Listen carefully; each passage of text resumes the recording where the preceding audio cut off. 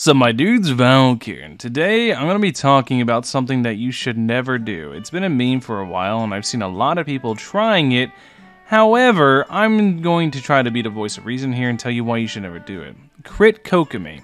It is something that I'm sure you guys have seen around, that people like to try to make Kokomi crit and try to show it off and be like, look at my 70 crit rate, 160 crit damage Kokomi.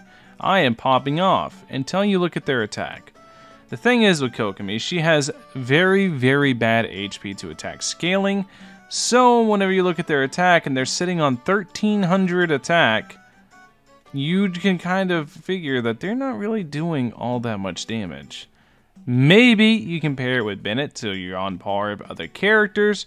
If that's the case, don't let your dreams be memes. Do as much as you can, although I imagine to get like a 70, 130 crit rate, crit damage ratio. With Kokomi, you're already running a bunch of supports, cryo resonance, food, etc. Everything, along with Lost Prayer, the Sacred Wind to try to cap out your crit as much as humanly possible.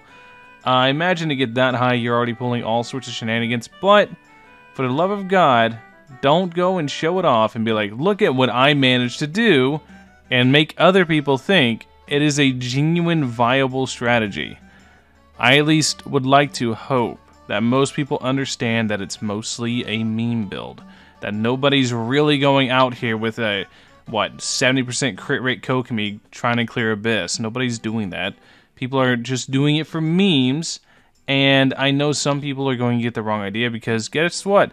The Genshin Impact community is a bunch of very young, very gullible people. I mean, I'm an old gullible person, but I don't count that in that statement, do I?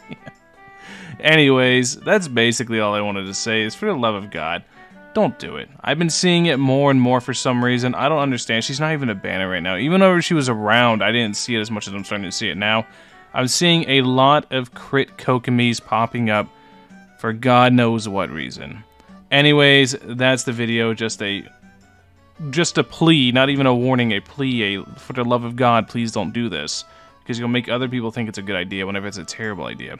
Anyways, thank you guys for watching. As always, I'll catch you guys in the next one. Peace.